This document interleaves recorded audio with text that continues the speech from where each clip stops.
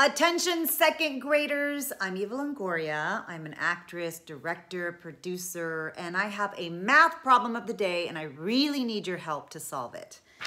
Okay? Diana planted 13 sunflowers, 8 tulips, and 9 lilies in her garden. How many flowers did Diana plant in all? So I challenge you to solve this problem in two different ways, two different ways. Explain your answers, and I can't wait for you to share your thinking with others. Together we can stay connected and keep learning fun. I know you got this, second graders. I believe in you. I also want to give a shout out to my friends at Southern California's San Marcos Unified School District. Thank you for launching the Math Problem of the Day campaign. Parents and teachers, if you want to head to mathproblemsoftheday.com and you can check out more free math videos for students. Good luck, mathematicians.